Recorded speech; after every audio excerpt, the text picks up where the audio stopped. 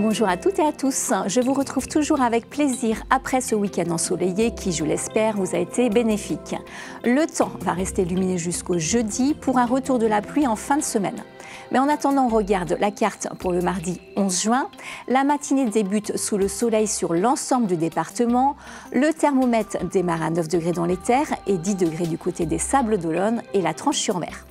Dans l'après-midi, pas de changement puisque le ciel reste dégagé.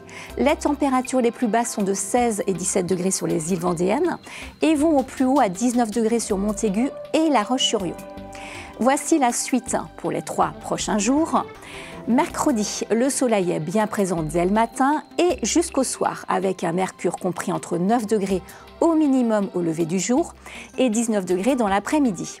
Jeudi, le réveil va se faire agréablement avec toujours notre soleil au rendez-vous. Il va falloir en profiter car après la pause déjeuner, une nouvelle perturbation arrive. Les températures sont de 9 à 12 degrés le matin et montent jusqu'à 20 degrés dans l'après-midi. Et vendredi, le temps change avec, comme prévu, des averses qui arrivent. Concernant le thermomètre, il reste toujours frais pour la saison, avec 13 degrés le matin et 18 degrés dans la seconde partie de journée.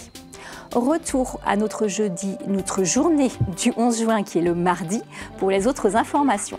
Le soleil se lève à 6h11 et se couche à 21h59. Les coefficients de marée sont de 62 et 58 avec une mer peu agitée et une température de l'eau qui reste plutôt bonne, 17 degrés en moyenne. Et pour finir, nous souhaitons une belle fête à tous les Barnabés. Je vous laisse retrouver Fanny dès demain pour un nouveau point météo. Passez une belle journée sur TV Vendée. À très vite.